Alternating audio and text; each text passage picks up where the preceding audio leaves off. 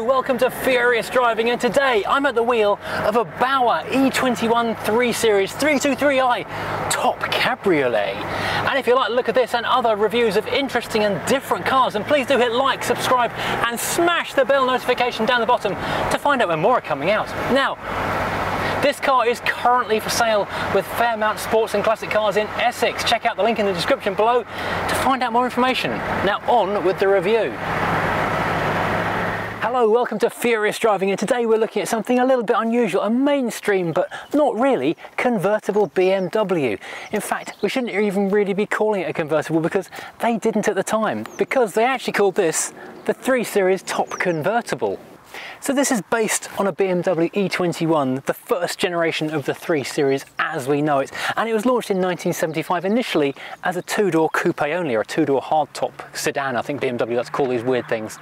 But it's a nice day for a drive, let's get this thing on the road and talk about it out there.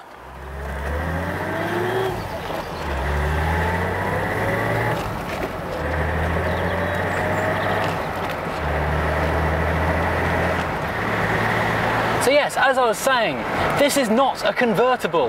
This is not even, although it looks like it, Targa. Mostly because Targa was patented as a name by Porsche in the 1970s. So it might look like it, but honestly it really isn't. Now this car, like all E21 Bauer convertibles or top cabriolets, started life as a hardtop because BMW really were missing a trick. They did not go in all out with every possible shape of body configuration the outset, which would have made them an awful lot of money if they had, but they didn't. Much like with the E30 Touring, it took a homebrew special from an engineer in his weekends to convince them that the Touring was a good idea and they put that into production. So three years after the E21 came onto the market, in stepped Bauer, who had a long history with BMW. And so they took on the role of building their own version of the convertible.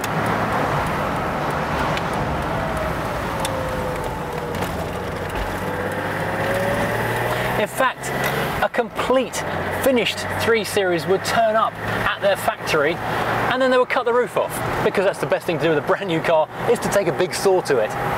But that's how we got this. But of course, because this started out as a hardtop car, it didn't have all the strengthening and bracing that a convertible would need. So they had to put in something or leave something in there to give it that extra rigidity. Hence the fact we've got this Targa rollover bar instead, a slightly unusual hoop, which gives it its very distinctive look. You can always tell a Bauer convertible straight away just from seeing that roof line. It does look a little bit like a pram with the roof up, but it does make it have a certain exclusive cachet.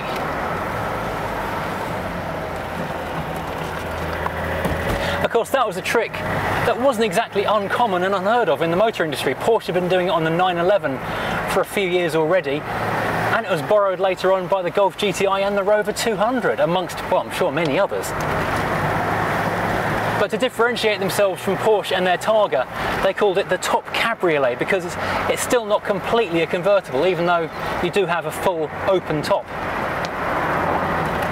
This large centre panel here lifts out completely and can be stowed away in the boot or left at home if you know it's not going to rain. And the back of the car, like on a Fiat 500c, folds away on top of the boot lid. And that's another differentiation between this and a full convertible from the factory. Because it's kept the rear bulkhead and the rear boot line, it doesn't fold into the boot space. It folds up on top of the boot, which gives it a slightly unusual characteristic look, but it does make it all the more practical because you don't lose any boot space when you put the roof down, making it a really good practical four-seater tourer. So four people and their very extensive picnic can all travel together in comfort.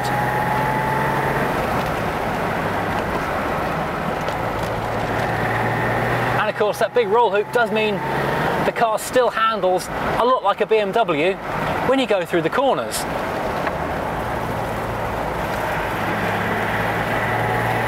It does roll a little bit though.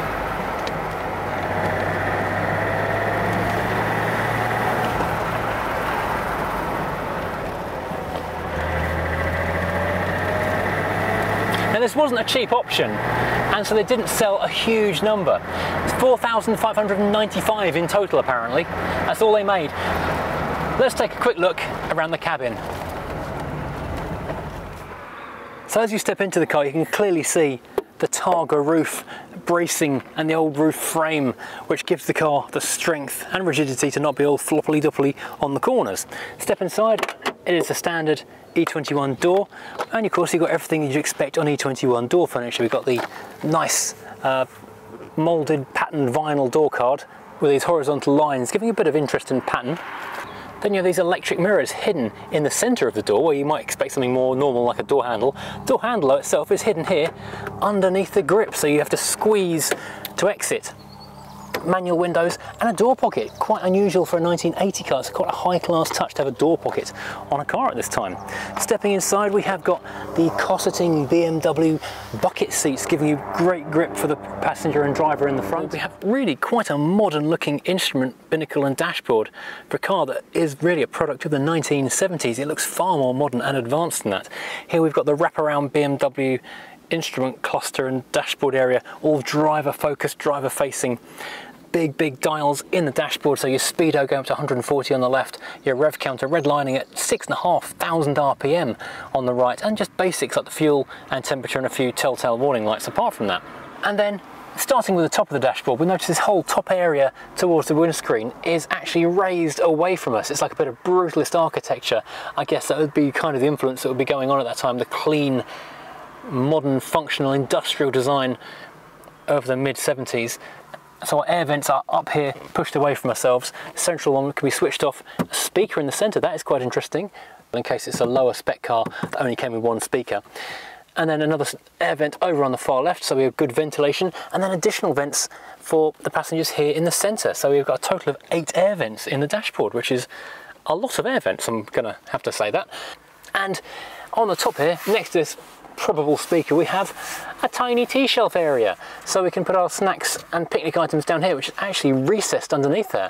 So you could use it as a, a grip bar if you've got a nervous passenger. They can grab hold of that bit of dashboard if they're really scared. As I say, this all curves towards the driver. So coming down, this area here is curved away towards the passenger because this everything else here is facing me in the driving seat. Nothing else for the passenger to play with beyond a glove box and a door cubby. In the centre though, we've got the twin air vents, our large hazard light switch, very, very modern looking dials for the uh, air ventilation. It looks a bit like what Vauxhall were using well into the 1980s. No air conditioning of course, but we do have heating and ventilation just there. Again, very modern, very simple. Underneath which we have got a Blaupunkt radio cassette, which in this car I believe will be stereophonic. Then underneath that we've got a big old ashtray. They're anticipating heavy smoking in this car. 12 volt socket slash lighter just there. And underneath that, a huge area for oddments. Oddment storage is a new and evolving field in the late 70s, early 80s, and they were embracing it wholeheartedly around here. You can even store pens and coins around the bottom of the gear shift. The gear shift itself, a five-speed manual, and it's a lovely slick thing as well. So again, at the forefront of technology on this car because five-speed manuals were very much state-of-the-art when this car came out and only high-end Exotica really had it. Now moving back from the gear shift towards the handbrake, but first of all check out the carpet pattern. It's a weird moire of white dots on black or possibly black dots on white. That's an argument for another time.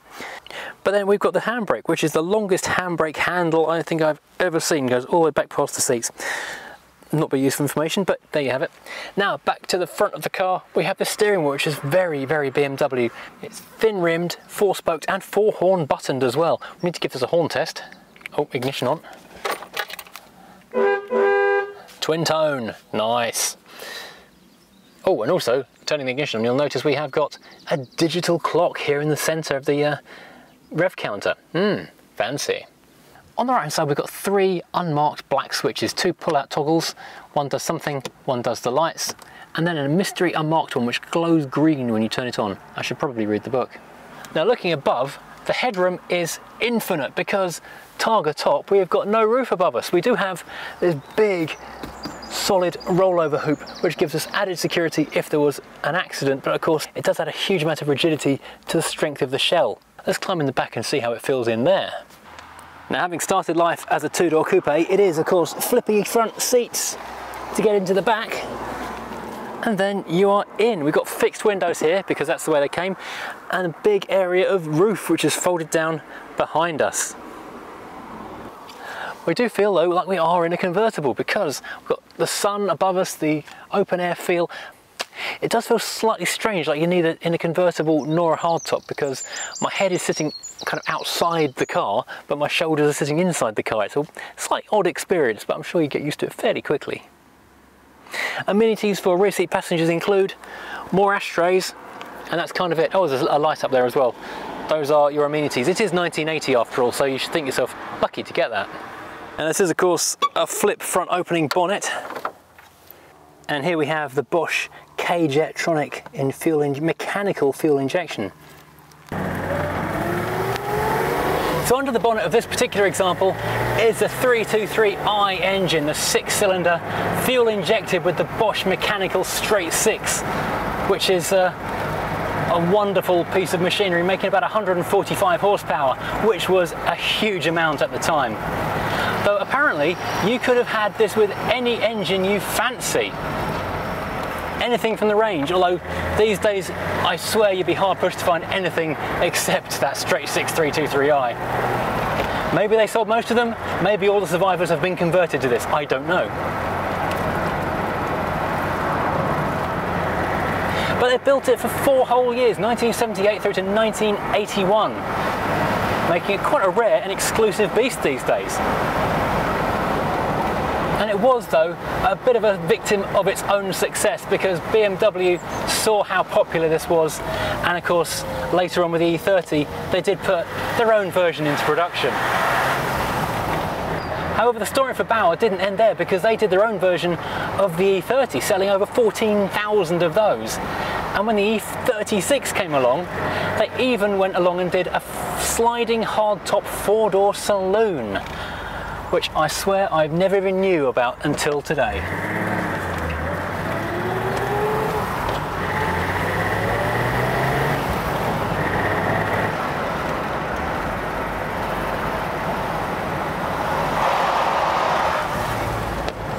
So just who are Bua or Bauer as you may or may not say it? Well, they are Carrozzeria Bauer, a Stuttgart-based high-end coach builder who've been around since 1910. They started building convertibles in 1927 and uh, first teamed up with BMW who were looking for someone to do a convertible version of their then 320 and 327 models uh, in 1937 and it was a long-lasting and successful collaboration between the two companies which meant that when Bauer wanted to go and do this car in 1978 BMW were happy to give them the go-ahead, the permission to not only do it but sell them through their own dealerships.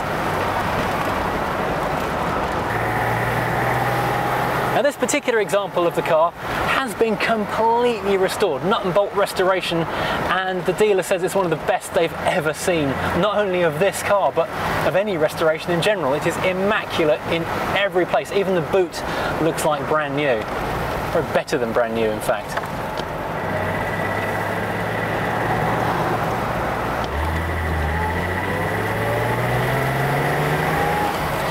does it drive? That's the big question. Well, I've got to tell you, it's really good. The um, steering is incredibly light. This is typical of BMWs the 80s. The uh, E30 was as well. It's way too many turns lock to lock and absolutely feather light to touch. So it's one finger steering, genuinely. The pedals are really well spaced. They are a floor mounted accelerator and top hinged clutch and brake everything's weighted really nicely and the gear shift has the perfect, and I mean perfect, weight of throw to it. So working through the gears and enjoying that wonderful rasp from the straight six motor